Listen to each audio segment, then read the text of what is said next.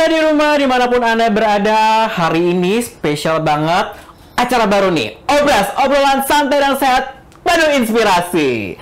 Selama 30 menit ke depan saya Denny Delian akan menemani anda dengan obrolan yang santai yang penuh inspirasi itu pasti dan yang pastinya sehat. Nah, berbincang-bincang santai, ngobrol santai pasti erat hubungannya sama namanya ruang tamu, pemirsa ruang tamu kita nih, yo, kalau pemirsa bisa lihat nih, kayaknya ada yang kurang kayaknya ya. Situ lagi terpikir ya pemirsa ya untuk mendesain ulang nih tatanan studio kita ini supaya lebih kece, lebih menarik, tentunya lebih inspiratif, lebih menarik dan semuanya pokoknya lebih oke okay banget dan keren banget. Tapi saya sekarang ini lagi nungguin temen saya yang katanya dia demen banget nih namanya mendesain dari paling jago untuk mendesain interior. Siapa dia? Inilah kita panggilkan Tommy. Halo. Halo, apa, apa kabar? Baik, Terima baik, kasih sudah datang di rumah Obras, obrolan okay, santai. Wih, kece banget ya, keren banget dari sesuai karena oh, ya? emang lu secara uh, desain interior yeah.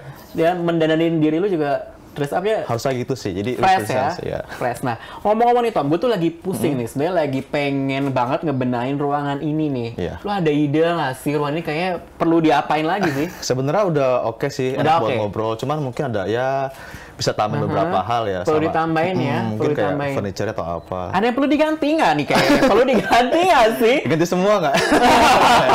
perlu diganti semua. Iya. Oke okay, Tom, mm. ngomongin tentang uh, profesimu sebagai seorang interior yeah. designer. Sejak kapan sih memulai dunia interior design ini? Kalau mulainya mungkin kalau sukanya hmm. dulu mungkin ya. Yeah. Sejak kecil sih emang mau jadi desainer arsitek hmm. sebenarnya sih. Makanya dulu kuliah arsitek gitu kan kalau mulai benar-benar terjun di bisnis ini tuh mm -hmm. baru sih 2011 mm -hmm. benar-benar baru mulai sendiri setelah kerja di beberapa konsultan gitu. Jadi jadi oh. emang dari dari kuliah udah basicnya yeah. senang desain. Berarti emang dari kecil udah suka-suka gambar nggak sih? Lumayan.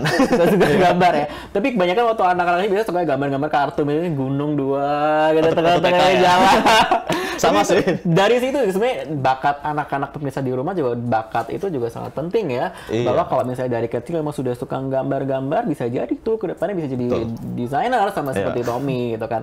Nah Tom, kebanyakan hmm. selama ini kamu sebagai seorang interior designer itu klien-klien kamu kebanyakan apa sih kebutuhan lebih ke rumah tangga hmm. atau seperti apa? Beragam ya. Jadi ada yang emang buat rumah tinggal kayak hmm. uh, apa apartemen juga ada. Tapi kebetulan terakhir-terakhir ini kebanyakan proyek kita emang dari komersil jadi kayak komersil. kafe restoran kayak gitu sih kafe restoran juga iya. terima rumah juga rumah, apartemen juga. juga keren iya. ya kamu ya nah terus uh, memunculkan ide-ide brilian itu dari mana biasa kan uh. Uh, orang pasti suka uh, sebatik aku deh misalnya pengen benerin ini nih kayak pengen lihat-lihat majalah dulu nih gue kasih ke lu deh lu pengen gini atau gimana seperti kalau ide sebenarnya gini apa ada beberapa tipe hmm. klien kan ada yang hmm. dibebaskan ke kita jadi kita uh, sebagai desainer bebas kasih ide apa pun ke mereka hmm. ada juga yang udah punya referensi jadi hmm. beragam sih tergantung proyeknya juga gitu loh tergantung proyeknya yeah. nah dari sekian banyak klien nih ada nggak sih kendala-kendala yang paling sering dijumpai oleh Tommy kendala paling kalau dari sisi desainer ya mm-hmm. untuk apa meyakinkan ke mereka bahwa this is the best uh, mm-hmm. buat mereka mm-hmm. seperti ini yang bagus yang benar mm-hmm. gitu loh kadang juga mereka nggak ngerti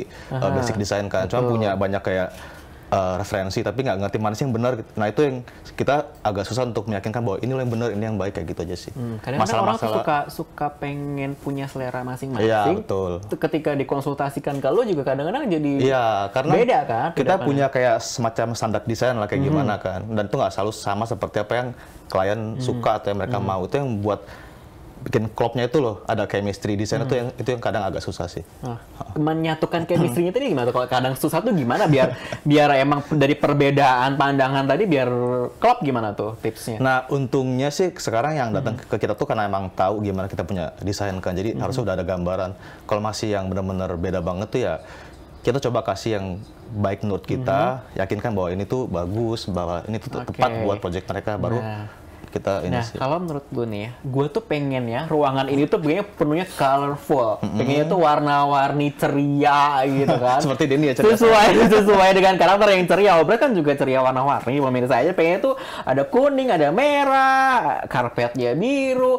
Menurut tuh cocok nggak sih untuk sebuah uh, desain ruangan tamu seperti tantangan ini? Tantangan sih buat hmm. main di mix color gitu mm-hmm. ya. Uh, mungkin ada orang yang emang suka warna-warni, suka kayak tabak mm-hmm. warna gitu. Nggak, sebenarnya nggak masalah sih. Mm-hmm. Apalagi kalau rumah tinggal kan sebenarnya ya bisa-bisa aja.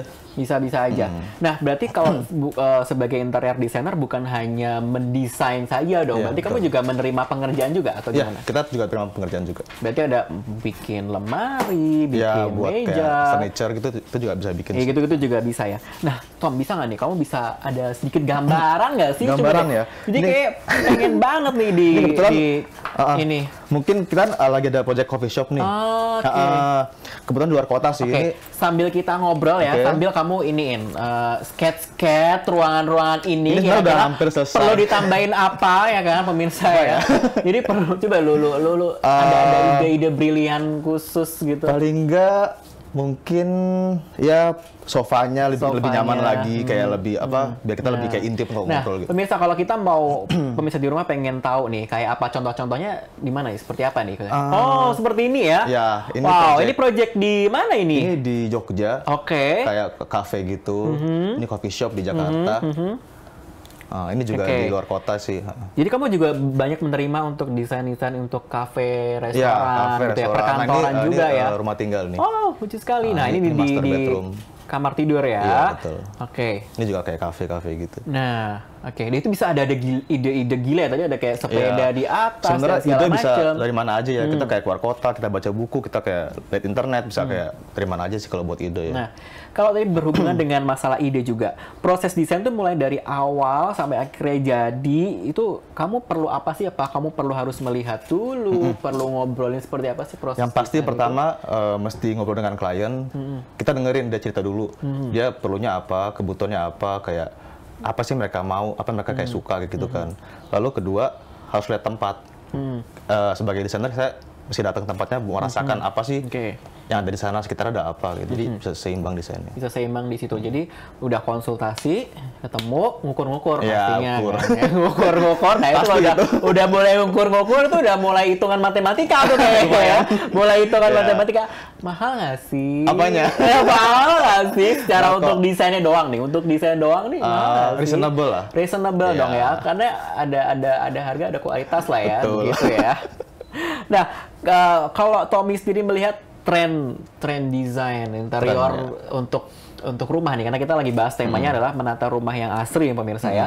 Untuk menata rumah yang asri itu ada sih tren-tren desain, Kalau tren, tren warna mungkin. kebetulan sekarang emang orang semua mulai kayak yang serba natural ya. Kayak mereka udah concern soal kayak pencahayaan alami, kayak Hmm. Oke. pengudaran alami. Jadi juga selain emang bagus buat kesehatan ya, kedua juga hemat listrik Hemat kan. listrik Jadi ya karena kita bisa cuman pakai kaca-kaca iya gitu, gitu. ya. Kalau dulu kan mungkin semua pakai AC ketutup kan, kayak mungkin takut eh, Dan- kayak udara kotor masuk kan sekarang dia bisa eh, daya listrik yang banyak. Betul, kita banyakkan lebih- bukaan, mungkin tanam pohon supaya nggak nggak yang masuk nggak nggak udara kotor gitu kan. Dan itu juga udah mulai banyak yang diterapkan juga. Iya, banyak di rumah tinggal, di tempat-tempat komersil kayak restoran, kafe juga udah banyak sekarang serba natural gitu. Iya, karena emang zaman sekarang semuanya sudah serba mahal ya. Iya. Listrik, ya segala macam udah semakin semakin naik, kebutuhan kita sudah semakin Iya, mahal. betul.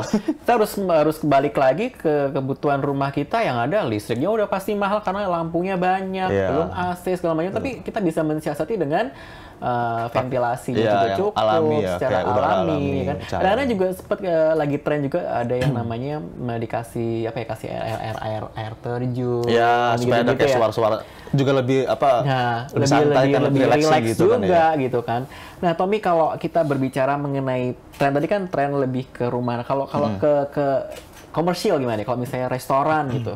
Komersil sebenarnya Kita nggak bisa tidak bisa hanya sekedar tren aja kan karena konsep satu prod, produsen restoran itu dengan yang lain pasti Iya. berbeda kan. Nah, Uniknya? Hmm. kalau untuk uh, residential ya tempat tinggal itu kan sesuai kebutuhan Iya. penghuni si peng- yang pemilik Hmm. rumahnya. Nah kalau komersil kayak misalnya restoran atau kafe itu kan tergantung konsepnya. Hmm. Setiap brand atau tempat tuh berbeda-beda konsepnya kan tergantung. Hmm. Ada yang kayak lebih tematik, playful, ada juga lebih aman, tergantung desainnya. tergantung desainnya. Nah pemirsa jangan ke mana-mana ya, tetap di Obras Obrolan Santai dan Sehat, Baru Inspirasi.